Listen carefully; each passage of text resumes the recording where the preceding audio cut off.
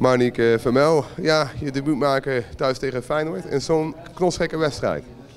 Ja, deze wedstrijd komt alle kanten op. Uh, kansen, zeile kansen, ehm, een paar missers, maar ja, 3-3, 1 punt. 1 punt is beter dan geen punt. En jammer dat er geen 3 zijn. Ja, want wat voor gevoel houden jullie nu uiteindelijk over? Nou ja, dat gelijke spel. Ja, natuurlijk een slecht gevoel. Ehm, nog, met nog twee minuten te gaan, 3-2 voorstaan.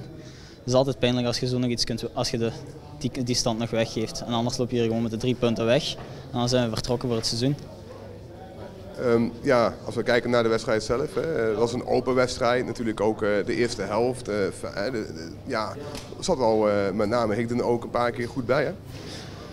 Ja, het was een, een hele goede wedstrijd op en neer. Wij hadden, zoals ik al zei, wij hadden kansen, zij hadden kansen. Ja, het kon elke kant op gaan. Um, en ik zeg het nog eens, het is jammer dat we hier de drie punten laten liggen. Die tweede helft um, ja, komt fijn dat al meer dreiging. Hè? Um, die 2-1 achterstand was misschien ook terecht, vond jij? Ja, maar dat is ook uh, te verwachten. Je speelt tegen Feyenoord. Uh, wij, hebben dan, wij komen dan ook nog op voorsprong.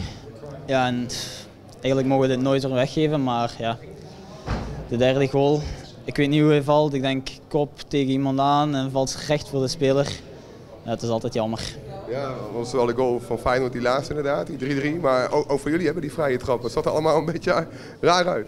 Ja, natuurlijk. Uh, maar ja, dat is voetbal. Dat kan wel eens gebeuren. Um, wat, uh, ja, nu natuurlijk volgende week Den Haag uit. Um, hebben jullie uh, ja, vertrouwen geput vandaag? Van een goede spel ook?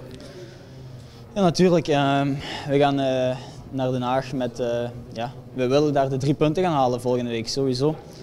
Dus daar gaan we deze week hard voor werken op training en ik denk dat we het positieve uit deze wedstrijd kunnen meenemen.